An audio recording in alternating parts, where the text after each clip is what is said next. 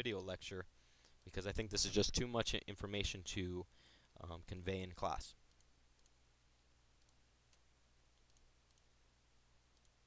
Okay. Mm, sometimes when I'm working with these nodes, I, I, I make sure not to change my view because this way I kind of lose orientation of the nodes and it looks like everything got put in the middle. Okay, so now we have those center nodes. You're going to notice it should line up with the node that we made or be very close to. There's a little bit of difference um, to the node that we made at the center of the pins. Okay, so let's do a spider.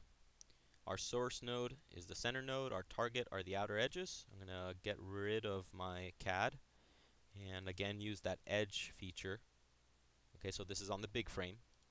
And choose all of those and RB to it and give it a, a new name and a new element type and, and that's all set. And we'll do it again just here. Uh, we make sure we grab the right source node. Um, we have a target node out here. Um, all the edge nodes again. Okay, that looks like it worked and give that an apply with a new collector. Okay, great. So I now I have my two spiders, the one for the big frame, the one for the small frame, and uh, I think essentially everything is all set. Now, let's do a check. So I'm going to turn on those three spiders, and they should be, if this is done correctly, those three spiders should line up, uh, this front spider should line up with the spider of the big frame. This uh, middle spider, uh, let me get a good grab of it. Uh, okay, this uh, middle spider should be connected to the gear spider. Okay, and this uh, this spider to the pin should be connected to um, the spider of the small frame. Okay, so another question. Okay, we know the gear and pin are connected, but are the big frame and small frame connected to the pin right now? And the answer is no, because we have, yeah, we have two different spiders. We have, okay, this top one for the pin and this top one for the big frame, but we have nothing in between the two. Okay, so let's, let's I'm going to hi highlight that guy, and let's work just with the big frame just for a minute.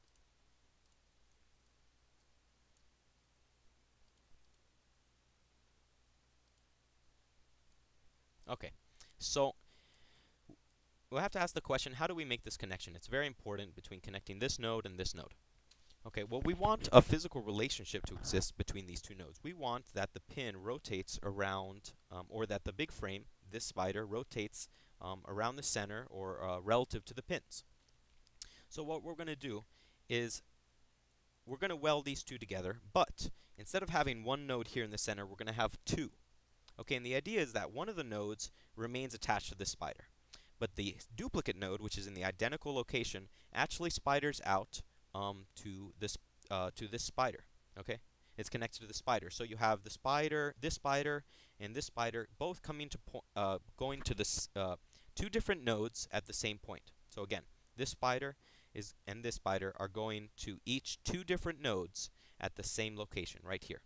And in between those two nodes, we're going to connect those two nodes with a C-bush. Okay, C-bush allows you to define the stiffness in all degrees of freedom. And that's how we're going to allow a rotation of the pin spiders um, around the big frame, or, or the other way around. Okay, so we have to keep in mind that there are going to be two nodes here, and it's a good idea to kind of mark down what is this node number. So I'm going to go ahead and write this on my page. I have 50988, and no, you cannot label nodes other than numbers. Okay, so I know 50988 is connected to the spider, and one little cool test you can do is this one on the top right. It's called Show Adjacent you just click on the node you want, uh, you're interested in seeing, and you hide everything it's connected to. And when you give it apply, it should show. So that shows that the node that I selected is adjacent to or connected, physically connected to the spider. Okay, so we were talking, and we were saying there's going to be two nodes here in the center, one that's already connected to the spider, one that branches out to this spider. Let's first things first go ahead and create that duplicate node. What I'm just going to do is um, insert node trans, uh, well, I'm sorry, edit node uh, translate. And I'm going to click that center node and I'm going to make a copy. So make sure this is copy and translate. And I'm going to make sure the distance is 0. Okay, so that means it makes a duplicate at the exact same location. So now if I hover my mouse over this point, um, I should get two nodes, 50988, which I wrote down as being connected to the spider, and 5099, which is connected to nothing right now. But the idea is that we make a 1D connection where that new node Okay, so I wait for the box to show up. This new node, not this one. If you write this, they're going to be locked up. You don't want that.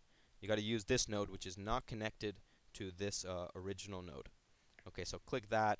and my target node will be the center of this spider. There's only one node there. Okay, and I'm going to make it an RB2 and apply, and you can notice that now I have an actual physical connection going on and off between these two spiders. Okay, let me just see where I'm going. Oh, wow. Okay, so we have these, uh, we now have a physical connection uh, between these two spiders, and now we need to define a C-bush between these two. So it's the same process. We do a 1D connection, but we're going to do a C-bush. Okay, and we choose these two outer nodes, 50990 uh, and 50988. Um, uh, the order in this case doesn't matter. Okay, so I'm just going to click those two and give it an apply, and you should see a little SP letter show up. And I think if I check or uncheck that, you should see that connection. Okay, so then now um, I'm just going to do the exact same thing, but on the other side.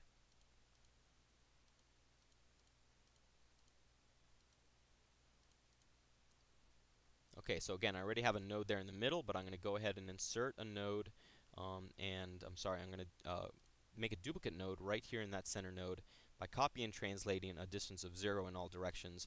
Give it an apply, and I'm going to double check and hold my mouse over there. See, there are, in fact, two nodes. Uh, 89 is the older one, so that must be the one connected to the spider. 91 uh, is the higher, obviously. So let's go ahead and make um, the rigid connection between this spider and this bottom spider, making sure that I choose the new one, not the old one. And that'll be a RBE2. There it is, RBE2. And give that an apply. And you could use the same collector as the one you used on the other side, that, that's no problem. But don't forget that we still have two nodes there that are not physically connected, so I need to go in there and uh, choose the 50991 and choose the 50 um, uh, that's the only other one to choose, so, oh, I have to change targets. Okay, and this time it's going to be a C bush, again, and give that an apply. Okay, so now we have it um, pretty much all set. This spider is rigidly connected to the small frame, and it is connected to this spider, which is rigidly connected to the pin. Okay, and the connection between these two spiders is done right here in the two duplicate nodes with a C bush. And now let's let's go take a look at that C-bush and see what kind of properties we can define. So just like I said, C-bush can define the stiffness in any degree of freedom. So here's a good quiz question. If I want rotation around the z-axis, what will be my stiffnesses? Okay, that's all the hints I'll give on that topic. We talked last time about what is the difference if the stiffness is 1 e to the 8, what that means, or if the stiffness is 0. So maybe one of the quiz questions will be, uh, will load be transferred um, across a stiffness of 0 or a stiffness of 1 e to the 8? Okay, so this is kind of the conceptual questions that I'm looking to ask to make sure everyone gets um, this big picture. Okay, so let's make sure that we have all those little spiders in the right spots. Make sure I don't have any other duplicates going on. There should still be one more. Okay, so there's two in the center for the pin, uh, the outer one for the gear, and it looks like we're all set. Okay, so we're ready to go ahead and do some uh, um, flipping. So we're going to just copy and reflect things to the other side. And want to ask, we need to grab everything. Okay, so this looks right. We're going to do insert, element, copy and reflect. We're going to grab um, everything. Uh, but I'm going to actually, before we do that, I'm going to take a look to see, because I, I did insert some new nodes, and I, I did do one or two um, translates. I'm going to see if I got any duplicate nodes um, along the way. Just choose everything. Say show duplicate nodes. In fact, there are some. And, of course, they're on the spiders that we translated. Okay, I'm going to go to a wireframe and double check. Okay, now one more thing I want to show. I'm going to, uh, again, ask the show duplicate nodes. Go ahead and apply. And you're going to see that it says there are 58 candidates, but there are four skipped.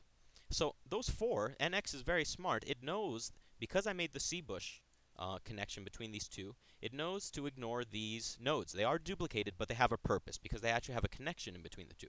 But these have no connection, so NX knows that these are, um, you know, somewhat accidental duplicates, and we want to get rid of them. And again, choose all these nodes, show duplicate nodes, and all those 58, that's okay. Um, and I know it's going to skip those four, the first two in that spider and the second two in this spider. So I'm going to go ahead and ask it to merge and give that an apply. Okay, so now if I do another show duplicate nodes, it should say there are none except the four that we know something's going on in between them. Okay, so that all, all looks great. Okay, so now everything's a little cleaner. Let's go ahead and do that, um, that um, reflection.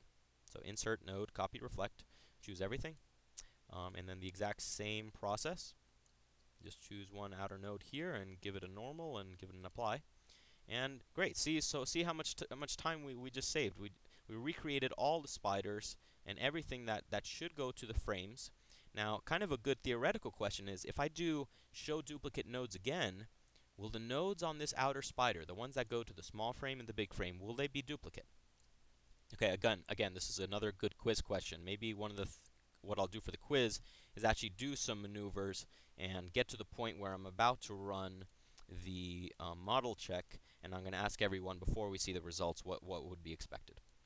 So we're going to apply, and uh, we expect, obviously, the, the, the, same 67 that, that showed up when we mirrored the pin without the spiders. So I know that it's talking about those. Um, I'm going to go ahead and give um, give it a, uh, an 8, uh, I'm sorry, an apply. And uh, one more thing I want to show again is that if I do do show duplicate nodes, it says it found 67 and it knew to skip 8. So again, that's 2 from the big frame, 2 from the spider, two from the, uh, I'm sorry, two from the big frame, two from the small frame, and again, two from the small frame and two from the big frame on the other outer side. Okay, so it's grabbed the right ones and it knows to merge the right ones. I'm going to give it an apply, and I've got everything pretty much set. Okay, so last thing is we need just to just reflect it over to the other side. Now, question, if I'm going to reflect this, should I reflect the spiders going out to the frames? The answer is no, because um, they kind of, they're circumferential. They go all the way around, so there's uh, no need to hold on to these. So I'm going to, um, this will be a lot easier if I name them. Okay, but there you are. I'm going to go ahead and just reflect all of the spiders that are within the pin and the ones that are connected to the gear as they do need to show up on the other side. So we're going to do an insert element, um, uh, copy and reflect, um, grab all these guys. I think the method we need to do is um, let's see, um, specify plane. Again, I need a plane, so that's talking about a geometry. So I'm going to turn on the pin so I have a geometry to interact with. And I'm going to choose that, um, that plane. Let's see if it's going to let me. Chose all those elements, choose the plane. Oh, I need to choose mine. There you go. Specify plane and specify distance, which we all know to be 0.09. Give it an OK. And give it an apply. And there you go. I get my mirrored um, um, pins with the spiders in them, all in the right places. Everything's uh, nice. And let's see if I put those um, spiders of the big and small frame back up. So we get reach another question. Will there be duplicate nodes? So you can answer to yourself. But let's go ahead and uh, try it out. Insert, nodes, uh, show duplicates, don't merge. Um, before seeing them. And another thing Dr. Zarda suggested, which is a very good idea, is before you merge nodes, it's not a bad idea to save your model. Because um, I don't know if you can see any, um, I don't know if you can undo any merged nodes. Okay, so everything showed up, uh, no problem. We have no no nodes merged. And we still, let's see, we, we should still have the duplicates um, in here. Um, so I'm going to give that a double check. Okay, did I move? Looks like I got a couple nodes. Let's see.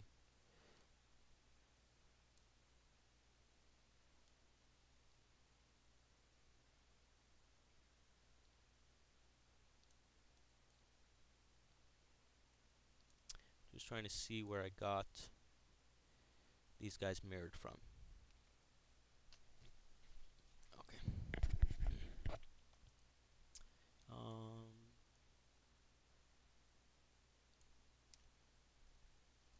so I'm going to undo to see where that node popped out of.